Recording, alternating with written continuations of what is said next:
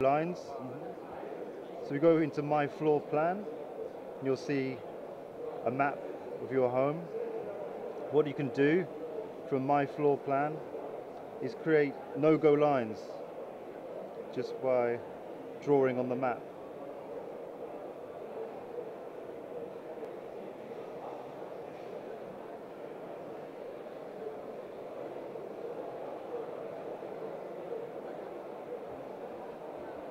So the whole reason behind it, sometimes you might not want the robot to go into a certain room.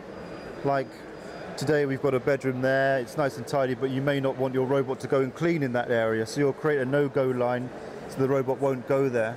Sometimes people have pets, of course, and they can have the dog area where the dog will eat, and the robot will not go in that area if you create a no-go line and potentially knock over the dog uh, food.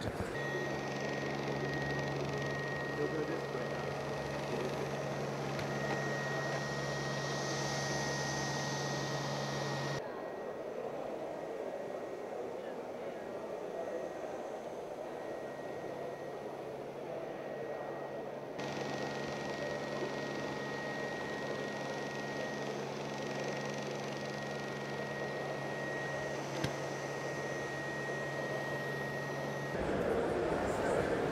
So the robot's only going to really clean in this area here.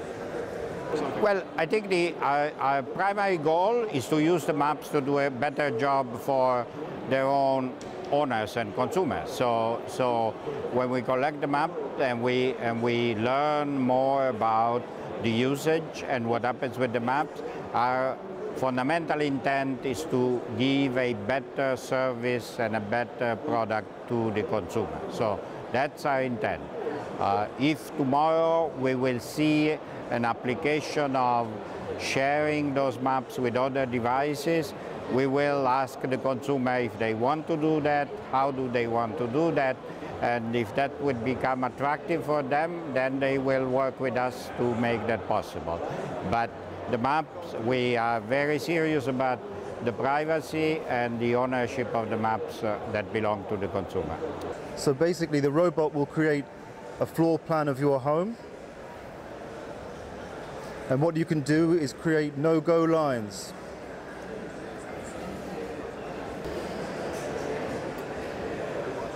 So I've got one more thing.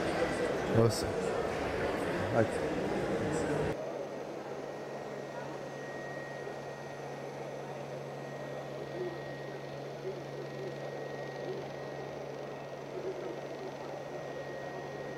Yeah, I think privacy and security is definitely a big concern in the smart home, especially since a lot of the kind of more interesting things we're seeing are newer companies. Um, even with the Essential phone, they just had accidentally released a ton of driver's license data, you know, information about people online. Um, and you just have to be sure you can trust who has your data. Even big companies, we've seen issues though with, with how they're handling this. Um, you know, hacks. People try to hack things all of the time. I think there's you know a story almost every single day about something that's been hacked. Um, so it, it definitely is a big concern figuring out how to secure these, how to have, if you have everything that's smart and connected, how do you make sure that somebody's not getting access to your home who shouldn't be?